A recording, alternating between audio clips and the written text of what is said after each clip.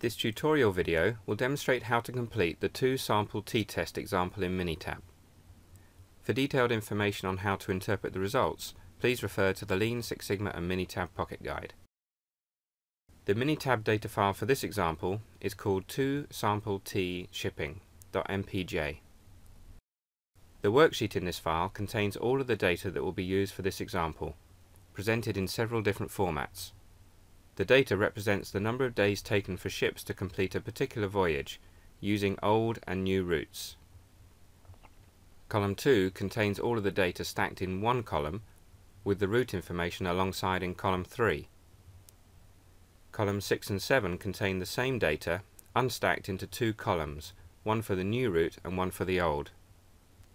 And finally, columns 9 through 11 contain just the summary statistics of the data for the new and old routes which can be used to complete a two-sample t-test. In order to complete the two-sample t-test, go to Stat, Basic Statistics, Two-Sample T. Firstly, ensure that the Samples in one column option is chosen, and then enter the column containing the data here, in this case column 2.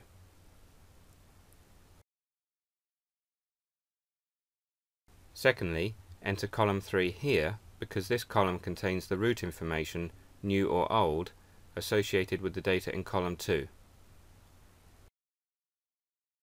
If you have not already graphed your data, the Graph button provides the option to create an individual value plot or box plot of your data. Select both for this example and then click OK.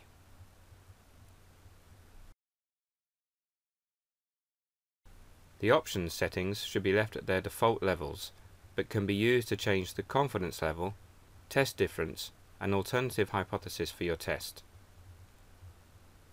Click both OK boxes to complete the two-sample t-test. The graphical output includes the two charts that were selected previously, an individual value plot and a box plot. Because these charts were created using Minitab's two-sample t-test function, they both have the average of each subgroup marked as a cross circle, connected by a line, to highlight the difference in average that is being tested. The session window contains the numerical output from the analysis. The interpretation of this output is explained in detail in the Pocket Guide.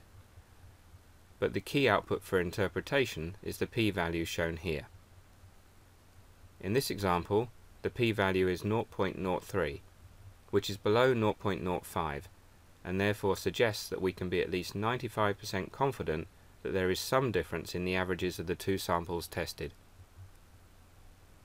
That completes this Minitab tutorial video for a two-sample t-test.